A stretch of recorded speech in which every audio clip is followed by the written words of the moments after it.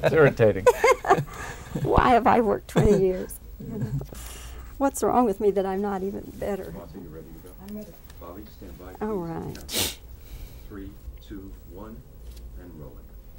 Well, gentlemen, Sam, Ngor, it's very nice to have this opportunity to talk with you because uh, I'd been hearing about the Killing Fields, and now you're starting to get uh, uh, uh, nominations, Golden Globes, and I'm sure you're going to get Oscar nominations. I'll, I'll bet the farm on it, as we say in Texas.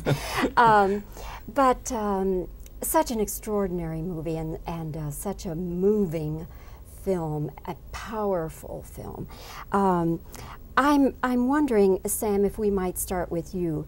Uh, do you consider this, and I'll, I'll uh, just take everything into consideration your film and your stage work, do you consider this your very best work? Yeah, I do. Uh, I- I think that the realization of it, that the whole realization of it, my work within this bigger piece of work, I can't think of anything else that I've done that's been as satisfying in that respect. So if you win an award for this, you'll say, I deserve it. Well, yes, I mean, it would be wonderful if this won awards, and I, th- uh, because I think it would encourage people to go and see it even more than they have been already.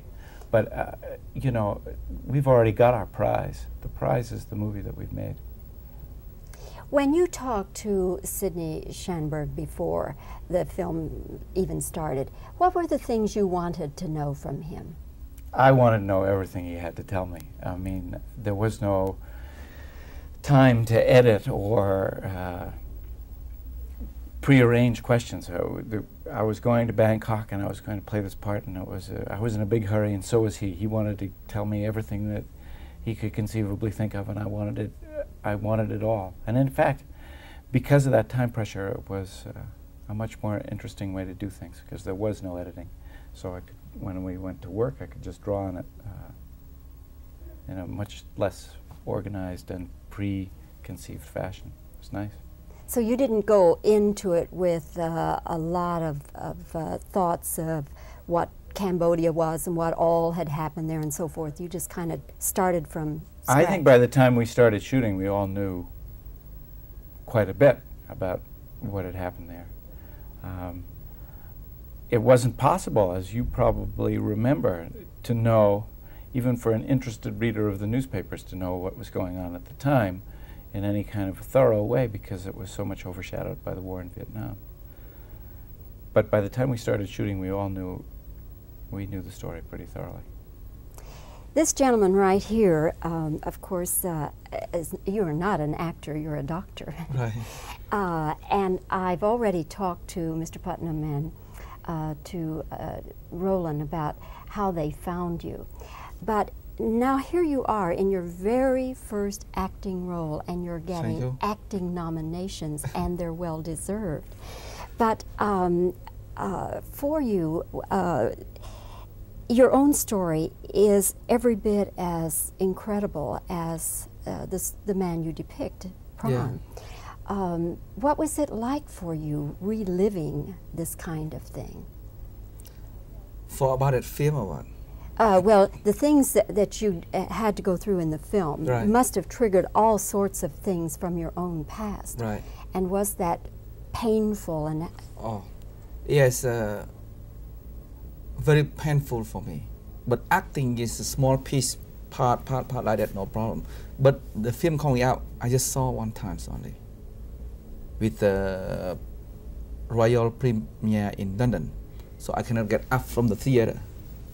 So I stick it all in the theater, and each time I watch that movie, I got very painful for my story. And I act, Dith Pran story, really I act my story. Because my story deeper than, and better, and worse than Dith Pran story. In what way worse? You mean you went through more physical hardships and Yes, uh, Dith Pran is got just captured by Khmer Rouge just one time. And Dith Pran's story, he split his whole family to come to United States first. In my story, captured by Khmer Rouge three times, and also my almost whole family killed by Khmer Rouge already. And he's joined in United States, united with his whole family. How about mine? My family is gone. So I, each time I saw that movie, I cannot stop my tear. And my heart very, I got very painful for my story. What is it like in Cambodia now? Uh, so that's the problem. I feel very happy that film coming out. At least I'm the one of the two million Cambodian people represent around the world. Let the world how to know Cambodian right now. Because every Christmas time, the Vietnamese still fight two innocent Cambodian people in the border, around 200 to 300,000 Cambodian people in the border. Are killed? Or, Not- or No, are fighting? living there. Fighting. Fighting. Fighting. Fighting. okay. Fighting. Every year, every year. So I feel very happy. At least the superpower country must take a look on Cambodian small country. Not just only Cambodian small country. Around the world, which country is smaller? I feel very happy. Sam, what impact do you, as an American, want the film to have? Well, I, I hope it has an impact that's international, not uh, that it's not. This isn't. I don't think this is a lecture in politics. I think this is a, a human story, and if people are affected by it, then it will influence what they do politically, diplomatically, and maybe even how they treat their husbands and wives. What do you think about this fellow? First time out doing such a fantastic job. I think it's amazing, and when I'm not envious, I'm very, very proud. yeah, we we working together very very successful. That is Yeah. for sure. And Well, thank you both for talking with us today, and uh, we can only wish you continued success with the Killing Fields and, of course, with your individual careers. Thank you oh, both. thank you. Thank you. Thank you. Very good, thank you. Thank you. And uh, about here, okay.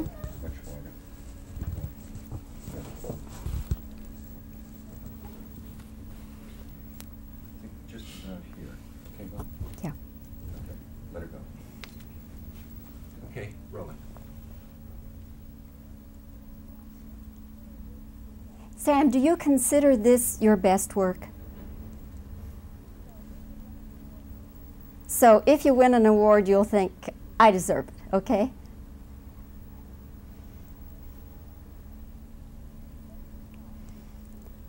When you talked with Schanberg ahead of time, what were the things you wanted to find out from him?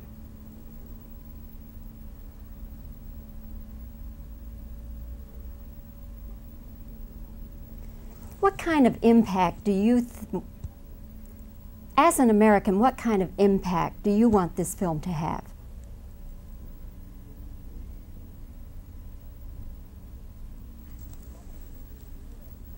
Having to relive your own experiences to some extent in this film, it must have been very painful for you. What do you mean that your own life was even worse than Pran's?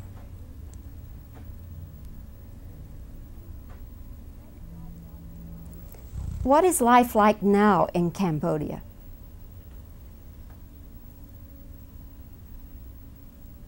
And I'll just give you reactions.